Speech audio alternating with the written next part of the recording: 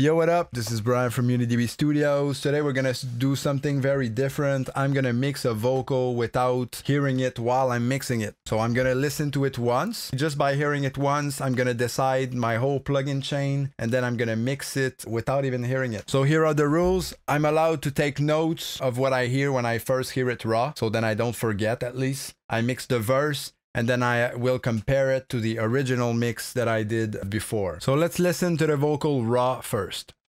Still not high, but still got lost. Three shot polos, all the cost. 40s teed up on the course. I just drank them playing golf. Teleport the way I drive when I'm too fucked up inside. Warping lines outside my. Hope I chase them back alive.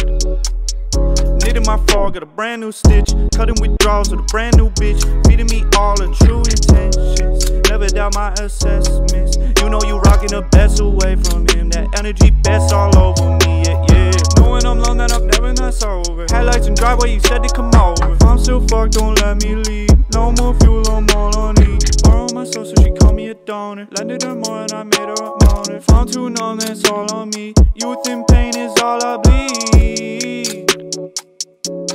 So let's do this shit. So basically everything I'm doing here is based off what I initially heard. I just listened to the sound and I wrote down on a piece of paper all of my uh, chain basically. So I'm just reading off what I took notes of when I first heard the vocal and I'm just doing everything. So I have a C6 I wanted to control at uh, 300 hertz. There was a frequency there after my EQ. Uh, EQ was uh, I took away a 400 hertz somehow a bit wide and a, a place at like 600 and something hertz. I think I'm gonna go from 2k to 6k actually. What I'm gonna do is I'm gonna boost. So then I have some gain, but I have some control as well. Okay, so now then I wanted to add a little saturation to get like that mid-high to come back to the track, but then they brung some de-essing. I just know by experience. So then I de-ess like everything over with a shelf to 3K, compression, SSL. So 3 dB at 9K with a bell curve. So uh, last thing, I think I'm gonna put a Soothe just to be safe.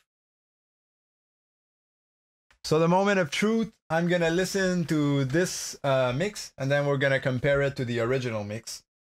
I'm very curious. Still not high, but still got lost. Three shot polos, all the cost. 40s teed up on the course. I just drank playing golf. The way I drive when I'm too fucked up inside. Warping lines outside my. Hope I chase back. Knitting my frog, got a brand new stitch. Cutting with drop. Still not high, but still got lost. Three shot polos, all the cost. 40s teed up on the course. I just drank them playing. All right, so you can see the original sounds better, of course, because if you you have your hearing. But the whole purpose of the video was that you can get like tr a trained ear as such as because this is a still a very good mix. Uh, I, I'm actually surprised. So you can get a very good ear as such as just hearing a vocal and knowing right away what it needs. The only difference is if you have tools that can uh, give you feedback uh, of what you're doing on live, that's uh, even better, you know. But uh, yeah, that was a fun video. I hope you liked the video. Peace out.